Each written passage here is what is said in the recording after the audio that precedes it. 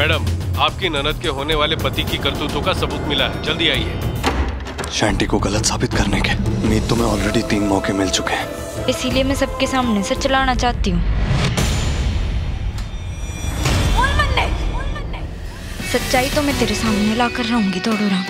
दोनों खड़े हैं अपने सच के साथ। अब कैसे होंगे आगे के हालात? 30 अप्रैल और 2 मई शाम साढ़े सात बजे जी टीवी पर।